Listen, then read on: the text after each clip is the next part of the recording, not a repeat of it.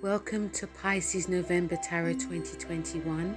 Now, this is just a general, if you'd like a full reading, head over to the description below. Hello, Pisces, and welcome to your November 2021 mini reading with me, Nicky K. So, Pisces, I'm going to talk about the two major planetary aspects that are planetary themes that are happening, then I'll do your card message. So the first one, and also the main theme for you, is your ninth house. You know, there's multiple Scorpios in your ninth house. It's about you learning, your higher learning, mentors, spiritual practice, the law, publishing. It's also about your main things about your beliefs. So these are the things you'll be working on. And also with this new moon in your ninth house, this is so great for a lot of you to really get back into the practice of relearning, rehashing what you've put to the side some of you could also see like you know you if you some of you are writers or doing anything creative or doing anything with the law you know things can actually go in your way now. Of you can get your work published or even start work re- working on your any writing that you're doing. Um even like when it comes to like beliefs and that some of you may decide you want to go back to church or even find someone that can help you with your beliefs. This is about seeking like a new teacher the other planet message is from the lunar eclipse that we have, which is in your third house. Okay, so this is going to greatly benefit you. It's going to benefit all of the water signs. You, Scorpio, well, Scorpio, yeah, you and Cancer are going to benefit greatly from this. Um, and you know, even though it's in your third house, this is about, you know, your communication, written, speaking, your siblings, your neighborhood, short distance. But this is about releasing. Some of you could probably come to like a conclusion that this is what you don't want to do, you don't want to write. Um, there could be an ending of conversations when it comes to your siblings, neighbors, and friends. This is about sorting stuff out. Things that were pushed to the back and now they're coming to the fore. And this is about your mental health as well. We're not we don't talk about that as much, but this is about the mental as well. So I feel a lot of you Pisces would be doing. It's actually great for you guys to be starting like a sort of like a practice to try and be calm, because we have a square to Jupiter in this in Aquarius, which is you know your sixth house. Your sorry your twelfth house so this will actually help a lot of you to be doing some type of spiritual practice when it comes to the themes here. So people that are like late degrees Pisces, late degrees Cancer will feel this the most. Obviously, it will sextile you. But if you're like earth signs, you will definitely feel this. Okay, but nevertheless, you're gonna it's gonna be a great time for you when we come to like your card message, the first card message you have is discernment. For the for, for this month is about discernment. I feel some of you Pisces, this card message is saying some of you are not really afraid to say what needs to be said. Some people could be actually be shocked by your saying. Um, when it says when also discernment for you Pisces is about speaking your truth. Okay, if you if there's some I feel that this is a bit of a, a bit of a psychic time for a lot of you. Obviously, with obviously with the ninth house is ruled by Sagittarius Jupiter. You're going to be in your element, so you may not be afraid to call out things that you see. Okay, and as you can see, you see people one one's laughing, covering their eyes, and one's blocking their ears. It's about speaking your truth because it will serve you very well. Okay, so the main theme for you this month is discernment. When we come to like your weekly message for November, the first mess, the first card you have is a death card. And it's funny because the death card is a Scorpio card and it is about leave it's about endings. There could be a reluctance to end things, but nevertheless it's about endings. And I feel some of you are taking off this dark cloak and releasing it.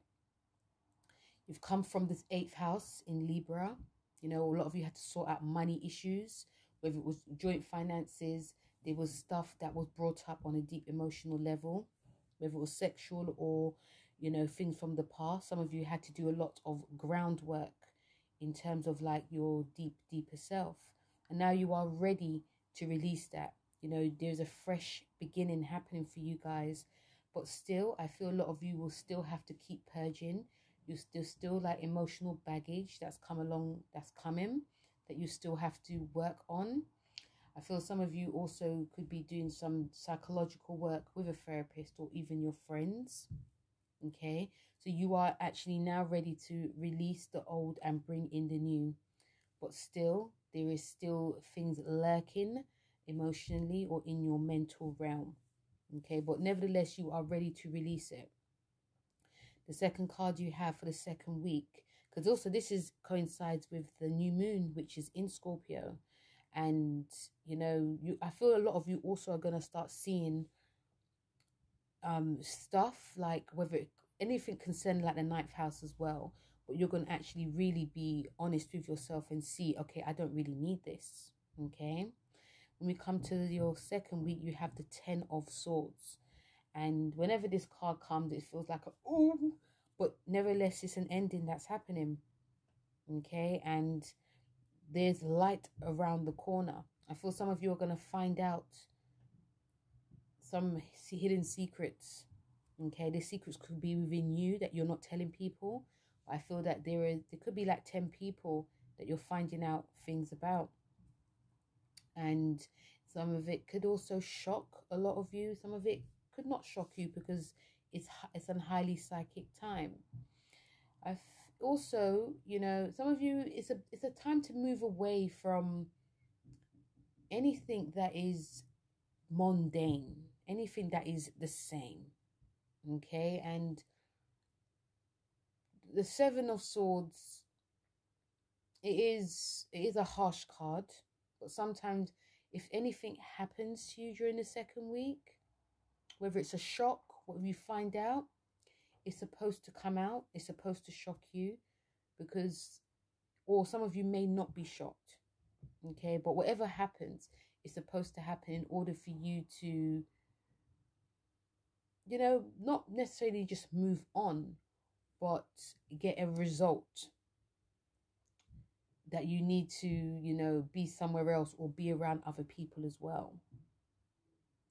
Then we come to the third week, which is the lunar eclipse week in Taurus, which is your third house. You have the Sun card, and this is a Leo card. You've got two Leo cards, very beautiful.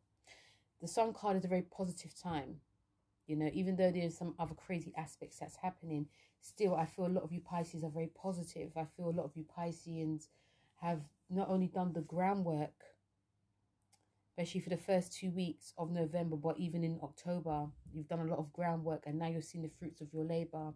If some if if any of you Pisceans have been very creative in any way, you've done like any writing, being just you know general creative, but also doing any like spiritual work continuous, you're gonna start seeing benefits now. Um, during the lunar eclipse, it's not going to happen immediately, but you're going to start seeing gates being opened. The Sun card is also about fertility. Okay, so some of you Pisceans could be discussing having a baby, or some of you could fall pregnant or find out you're, you know that you're, that you're pregnant during this the third week. But fertility is also creativity. So some of you may actually find that now that you're actually enjoying the creative process, even though things were very, they could have been very boring. I know a lot of you Pisces don't like doing the same thing over and over again. You need change. But now, the third week, you can find that actually I really enjoy this. Some of you could also overestimate, get overexcited, could be rushing to do this and do this because, you know, opportunities can definitely come during the third week. But no, you know, if you if you're doubting it, why it's happened, know that because you put the groundwork in before.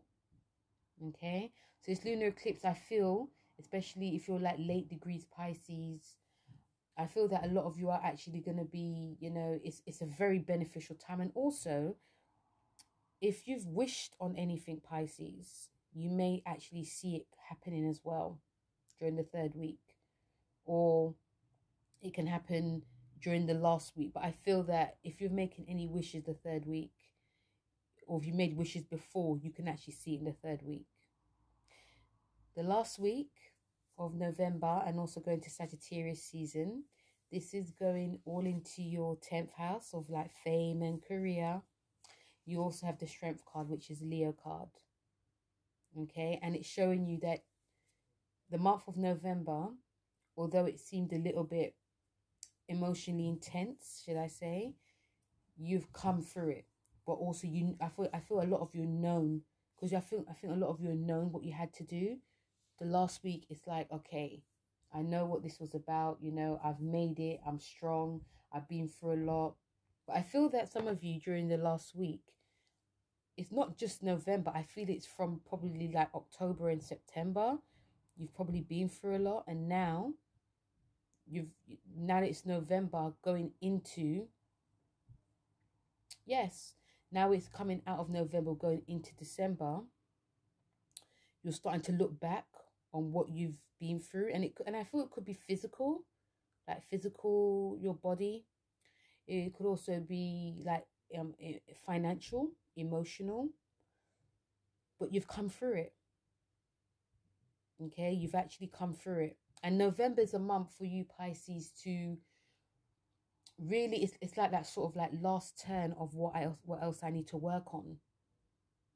In order for me to enjoy like my holidays and Christmas and you know. So you've come through it all and it's a positive time. And I think it's mostly because of this lunar eclipse that's happening. It, it, it I don't feel it'll put a damper on any of you Pisces at all you know um obviously whatever comes up you'll deal with it but I feel that there won't be as much negative negativity that's happening for you. That's one of the reasons why you're going to really much enjoy, especially like the second, especially like the third and fourth week of November. It's going to be very magical. And some of you may not even believe what's going to be happening as well. Okay. But but essentially, because these two cards are the fire cards, you the Leo cards, you know, um, even though it's a very positive time, just know that any, if anything does happen, anything does come up, doesn't mean that everything's over because Leo's a very dramatic sign. It's very much, oh, why is this happening to me? I just want positivity. I want no drama. It's life. Okay, so anything that's thrown your way as well, it's just life. Deal with it and then you can move on. Okay. So, Pisces, that was your November 2021 tarot message. Hope you enjoyed this message. Please don't forget to like, share, and subscribe. And also, um, check out Empath Butterflies, who does daily and love readings for the signs. And another thing I was going to ask you, Pisces, if you'd like me to do like separate videos for monthly or just a full video for everyone. Something you guys to think about. But yes, have a lovely November, Pisces, and I will speak to you guys very soon. Take care. Bye. Música